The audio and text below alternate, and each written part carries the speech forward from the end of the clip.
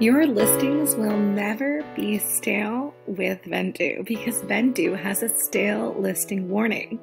To set this up, you can go to your account settings.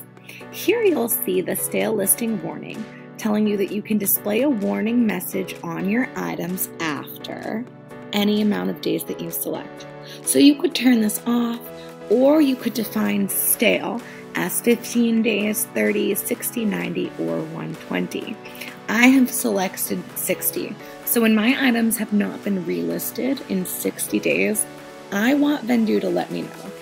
Let's see what that banner looks like in action. If I want to check out my stalest listings, I will sort by stalest. And here you can see these are definitely all stale.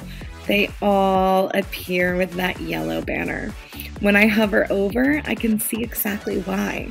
This item was last listed 192 days ago on Depop. This warning is really helpful because it appears over the items even when we're not filtered just by stale. When this appears, it's a great time to delist and relist. Looks like I have a lot of work to do.